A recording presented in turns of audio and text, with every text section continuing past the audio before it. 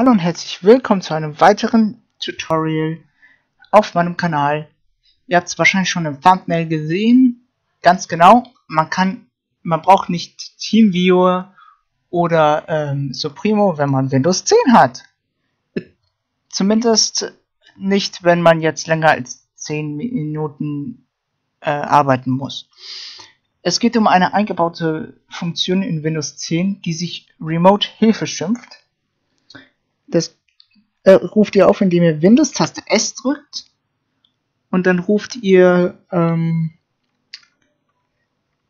RE auf und dann müsste es eigentlich hier vorgeschlagen werden. Äh, auf jeden Fall sieht das Symbol so aus. Hier. Remote Hilfe. Das ist so ein blauer Bildschirm, so ein blauer Hintergrund mit zwei Bildschirmen. Da klickt ihr drauf, und zwar beide. Derjenige, der die Hilfe haben möchte und der, der die Hilfe geben möchte. So, ihr klickt hier auf Unterstützung, wenn wenn ihr derjenige seid, der sich auf den anderen Rechner verbinden möchte, klickt ihr hier unten drauf auf Unterstützung gewähren. Ähm, zumindest, wenn ich das richtig in Erinnerung habe. Ja. Mhm. Ähm, dann wird, müsst ihr euch hier mit eurem Microsoft-Konto anmelden. Ich mache das jetzt mal ganz kurz auf einem anderen Bildschirm, dass ihr das nicht seht, denn meine E-Mail-Adresse, ne?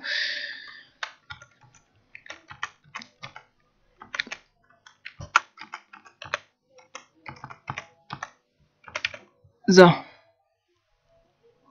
ähm, dann klickt ihr da auf Weiter. Und dann müsst ihr ein bisschen warten. Ähm, genau. Dann müsst ihr ein bisschen warten und dann wird euch hier so ein ähm, so genau dann wird euch hier so ein Code generiert. Ich mache das jetzt extra so halbwegs, damit ihr meine E-Mail-Adresse nicht vollständig seht. So, in meinem Fall ist dieser Code, ich prüfe es nochmal auf dem anderen Bildschirm nach. Ja, der Code ist in meinem Fall 837880. Das heißt, ich muss jetzt zu dem, also derjenige, der die Unterstützung haben möchte, der muss diesen Code jetzt eingeben. Dafür habe ich mir hier meinen Laptop geholt. Ähm, so. Das heißt, ich brauche 8. Also der muss in dem vorherigen Feld, wo Code von Assistent oder so steht, da muss er diesen eintragen. 8, 3, 7, 3, 7, ähm, so. 880. 880. Dann klickt derjenige, der diesen Code eingeben muss, auf Bildschirm freigeben. Als nächstes passiert folgendes. Moment mal kurz.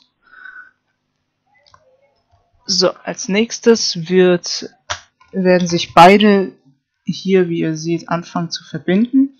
Hier klickt ihr auf Vollzugriff und auf Weiter.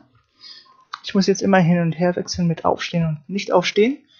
Ähm, derjenige, der seinen Bildschirm freigeben möchte, also derjenige, dem geholfen werden soll, der klickt hier unten, kriegt hier unten so eine Nachricht, ähm, abbrechen oder zulassen das ist einfach nochmal die Bestätigung, dass derjenige sich halt verbinden darf. Hier klickt derjenige auf Zulassen. Dann machen beide weiter mit dem äh, Verbinden. Das ist eine nette kleine Spielerei in Windows 10. Ihr seht, jetzt habe ich hier so ein, ein, großes, ich sag mal, Fenster bekommen, äh, das fast meinen ganzen Desktop widerspiegelt. Ich mache es jetzt mal größer. Hm, ist aber nicht mein Desktop, ist nämlich der Desktop von meinem Laptop, wie ihr hier an der kleineren Maus erkennen könnt. Dieses Teil hier oben, das minimiere ich jetzt mal.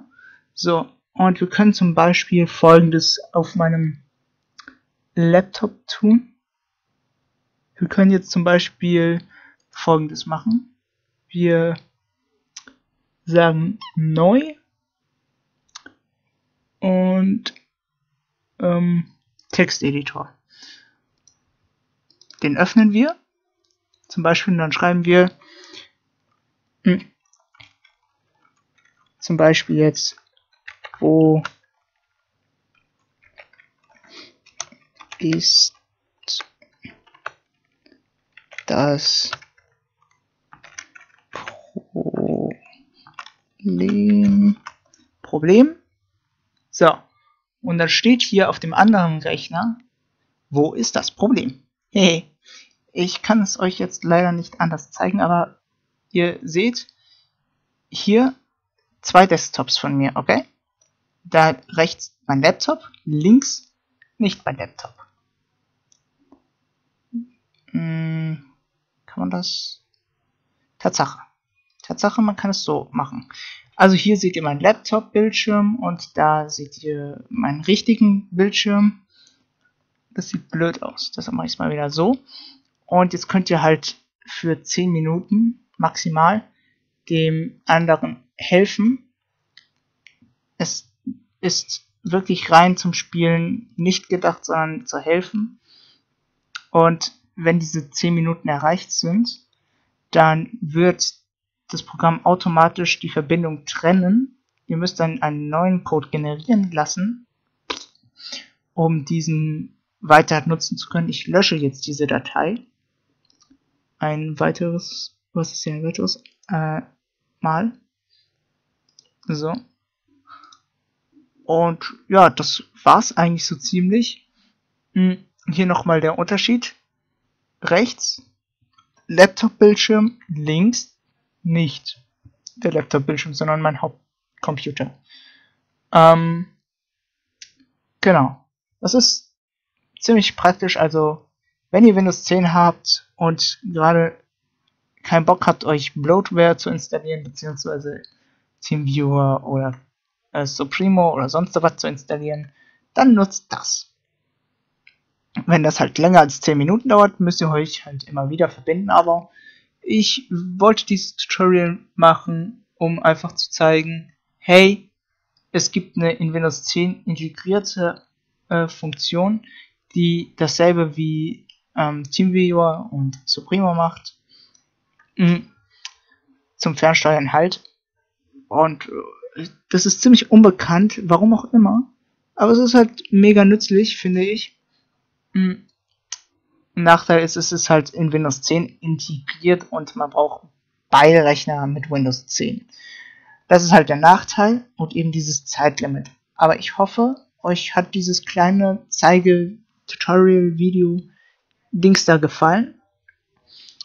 Werde jetzt wieder von meinem anderen Rechner disconnecten und schließen drücken sowie schließen drücken Bewertung will ich jetzt nicht abgeben. So. Ähm, genau. Ich sage bis zum nächsten Part. Ciao, Leute.